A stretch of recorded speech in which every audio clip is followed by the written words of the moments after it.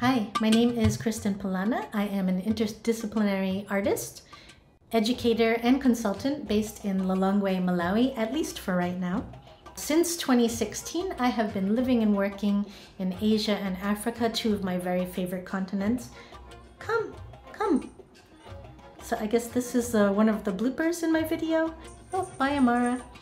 When I went to art school, I studied painting in my undergraduate times at Massachusetts College of Art and Design, and I studied digital media at Pratt Institute in Brooklyn, New York. I have been teaching on four continents uh, digital media to my university students and students from all walks of life who are self taught or don't have a formal education.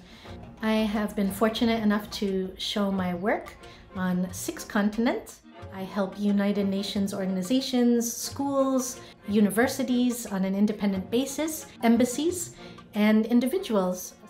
Sometimes the world can be a dark place, and my artwork is meant to be a bit of a boost to help people manifest the world that we want to actually live in. I hope you will come visit me online or send me a message or join my mailing list. That's it. Thank you so much and take care. See you somewhere in this world.